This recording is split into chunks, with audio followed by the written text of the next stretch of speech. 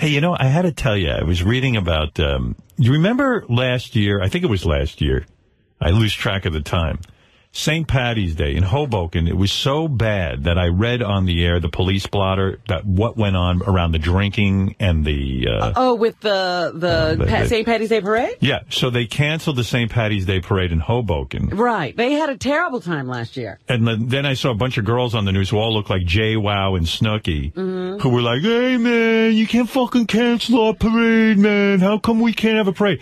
They canceled it because the drinking caused such outrageous behavior. The police were busy. Yeah, they had So- so, many arrests and, you know, reports of rape and all kinds of Yeah. things were going on. So what they did in Hoboken this year is they had no parade, Mm-hmm. but the bar owners all got together and said, you know what, we they asked the town for special permission that they could open the bars at like nine o'clock in the morning or something. Oh, dear. So people could go on a, a drink, drink. a pub crawl. yeah.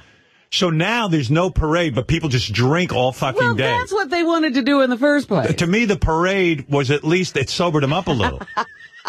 I'm No, reading there'll be no reason. here. Like here's the um here's the uh I mean it's crazy. I- here's the police blotter again. This year, no parade.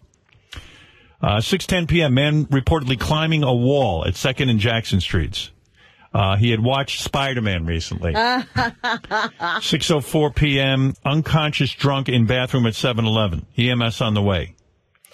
Uh, let's see. 550, drunk needs medical assistance. 541, more revelers on the roof at 5th, 5th and Washington. Uh, 523, drunk doing push-ups in the middle of the intersection at 14th and Willow. Why won't they stay in the bars? I don't know. 4:33 p.m. Fire alarms, fire alarms. Uh, bottles being tossed out windows at 4:30 p.m. 4:15. Disorderly drunks harassing families at Pier C Park.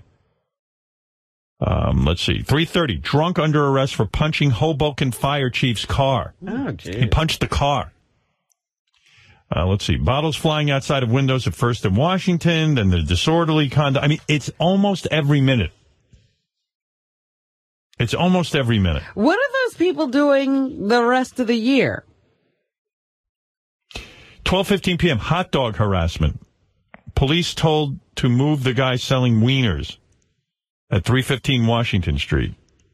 Who even knows what that is? But my point is, how come they can keep it together the rest of the year, but on one day they have to go crazy and just be climbing walls and doing push-ups It's and nuts. Big street fight at uh, 6:30 p.m. at 14th and Washington Street. 6:50. Two girls going at it near 11th and Washington. One girl says she'll sick her boyfriend on the other with a gun. wow. I mean, every it's like a crazy freaking day. You know, it, it- it's just St. Patty's Do Day. Do you wake up the next day with regrets? Not, no, I don't think so. I don't, I don't think anybody regrets anything.